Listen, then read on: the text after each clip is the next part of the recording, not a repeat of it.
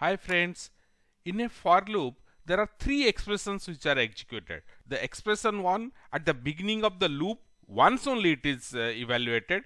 And the expression 2 is at the beginning of each iteration each step. So it is checked whether it is true or false. If it is true then the loop is executed. Otherwise it comes out of the loop. And the expression 3 is always executed at the end of the iteration.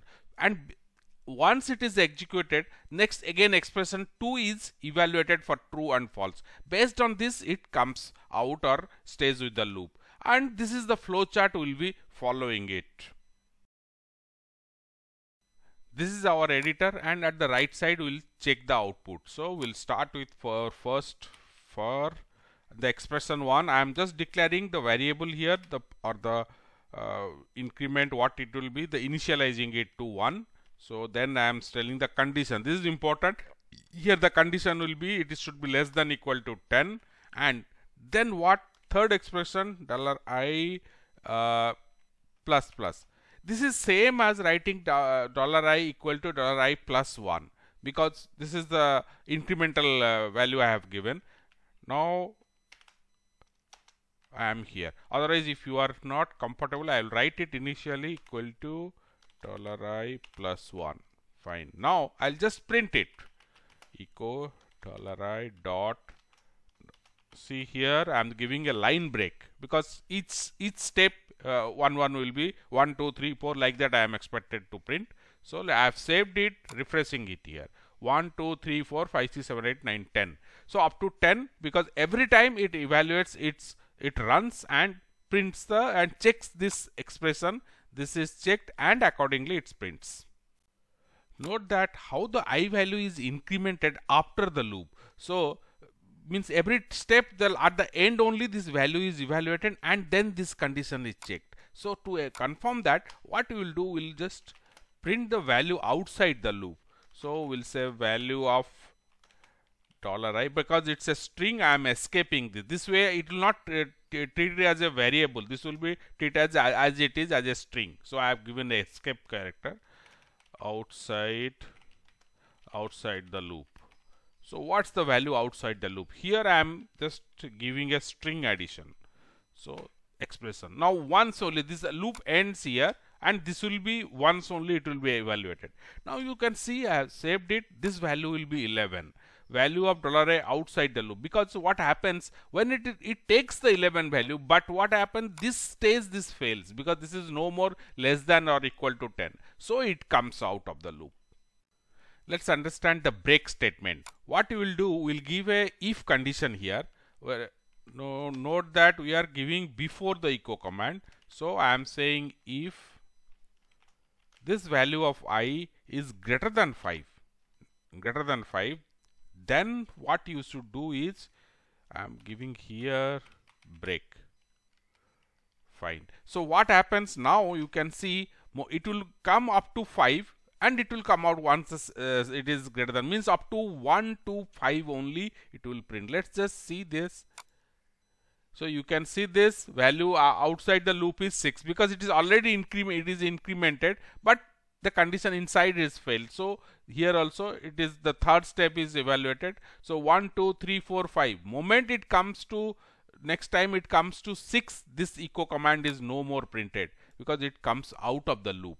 Now we can also say if equal to what happens if it is equal to 5 then what happens and then if suppose if it increment but once it breaks it will come out let's just see and see how it works. So 1, 2, 3, 4. So moment it is 5, the break statement works and it comes out of the loop.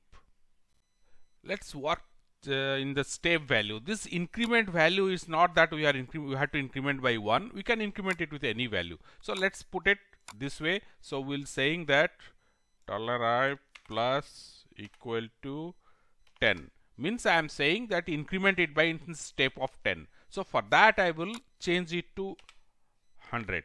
So less than equal to 100 that's the statement. So we can run this and see how this is. So 10, 10, 10 it will take. So first it starts with 1, 11, 21, 31, 41 like that. Otherwise I can make it to start from 0.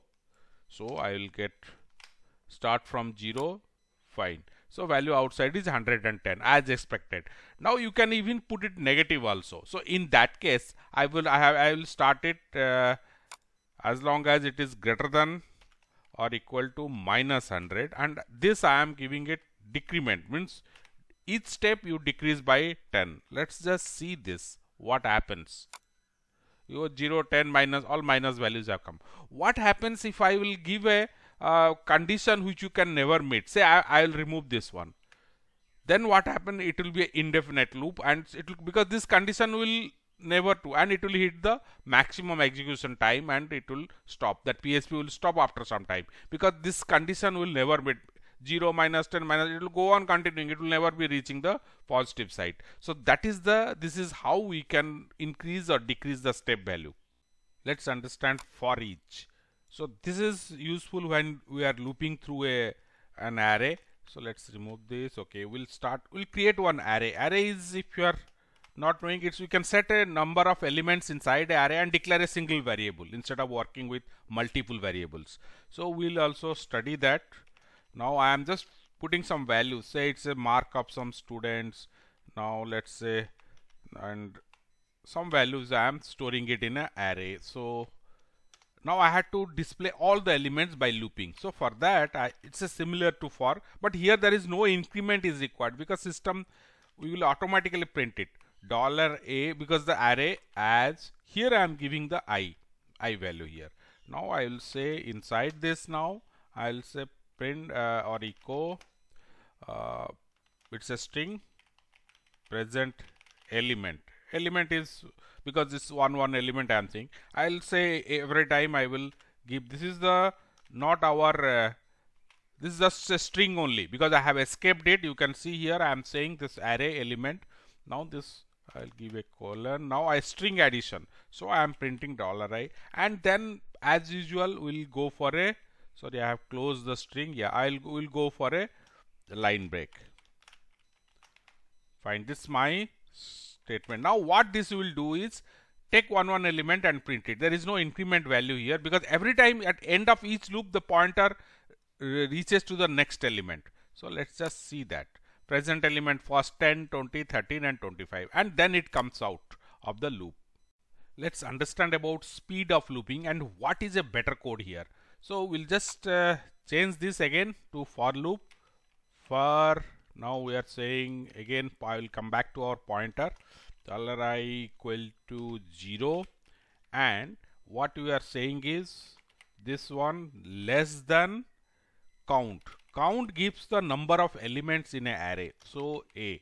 So here I am saying if it is less than then only. And then again I am incrementing. This is our what the normal way what you have learned so the element is present element. Here I what I will say I will say because it's a counter 0 1 2 3 like that it will take. So I will say dollar a. This is the way I will able to uh, print the value. So I am just saving this. Let's run this once so okay here the same output I am getting. There is no change in the output. But here is an issue. You see every time this function is evaluated, this count function is evaluated. This is not the better way. Rather because this count is not changing this number of elements inside the arrays remain same. So the better way of doing is in number. I am just writing it. Let me write this way.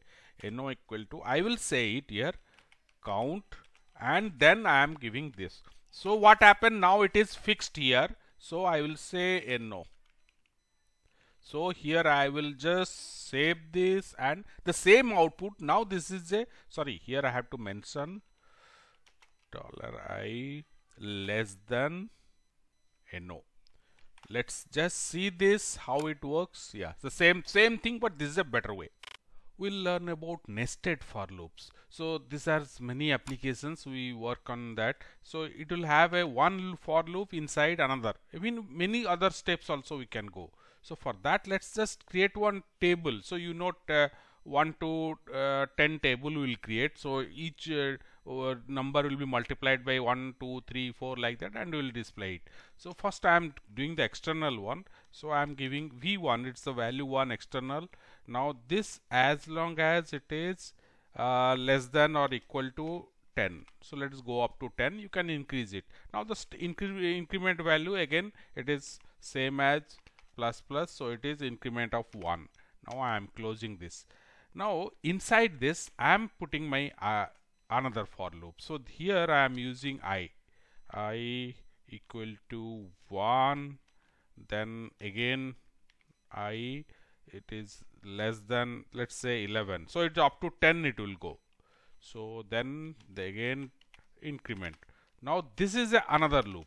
So what happens? First external loop then the internal loop will be completed then again it will go to external loop. Here what I am doing I am just multiplying these two.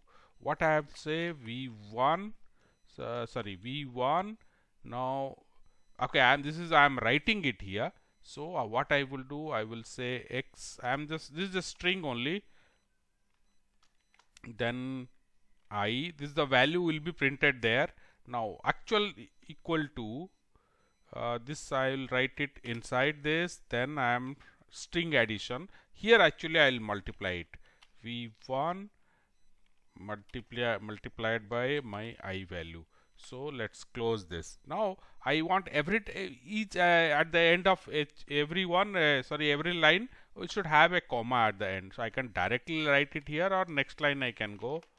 I'm giving a comma here. Fine. Now once the first internal loop is completed that should be a line break.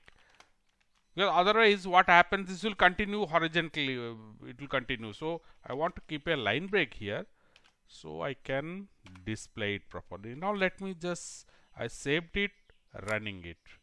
Uh, where something I line 6 here. I plus plus for dollar oh here I put extra. Let's just okay I think I have to zoom it out. Let me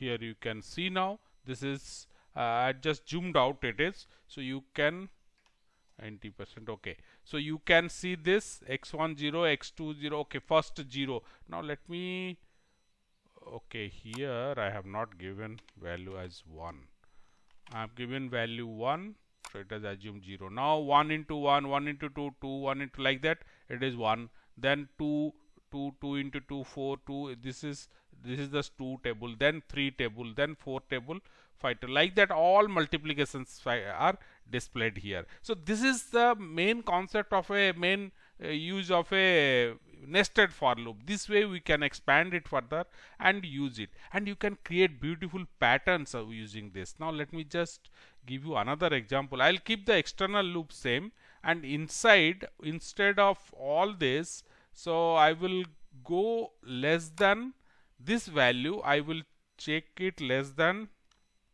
let's say dollar sorry it is v1 so each time the upper limit for each time internal loop the upper limit has changed. Now instead of all this I will say here I will say echo one star I will print. Let's just refresh it and see here what happens uh, where I have on line 8 okay I missed this fine. So here it is. See this pattern. I will if possible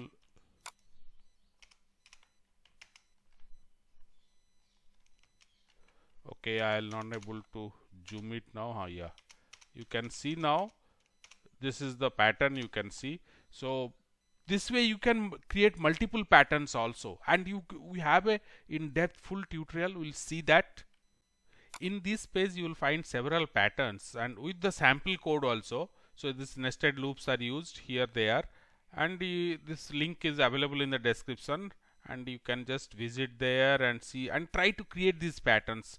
This this will give you the full idea or control over the your uh, nested loops. So that's all friends.